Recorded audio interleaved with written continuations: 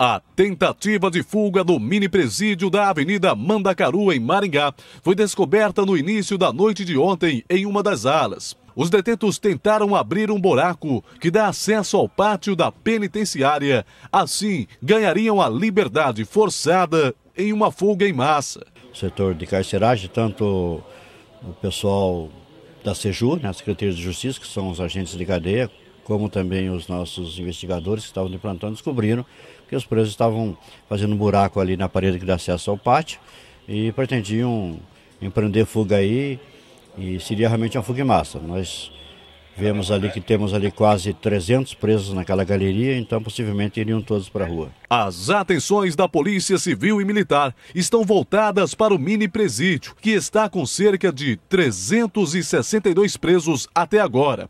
A última rebelião no local foi há cerca de 45 dias, provocando grande destruição.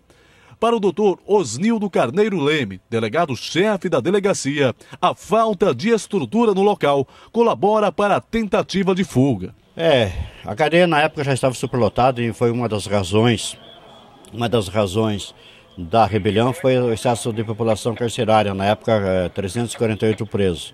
Decorrido 45 dias, aí nós estamos com 20 presos a mais do que nós tínhamos na época.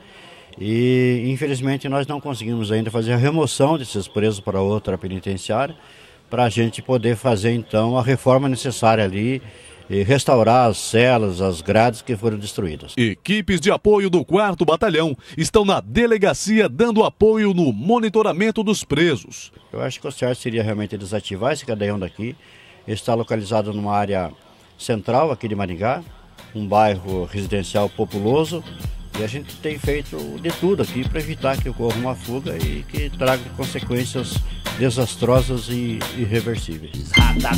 Sangue jorra como água ouvido da boca e nariz. O Senhor é meu pastor, perdoe o que seu filho fez. Morreu de bruços no Salmo 23, sem padre, sem repórter, sem arma, sem socorro. Vai pegar HIV na boca do cachorro, cadáveres no poço, no pátio interno. Adolf Hitler sorri no inferno.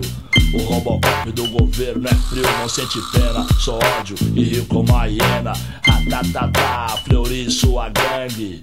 Vou nadar numa piscina de sangue, mas quem vai acreditar no meu depoimento? Dia 3 de outubro, diário no detento.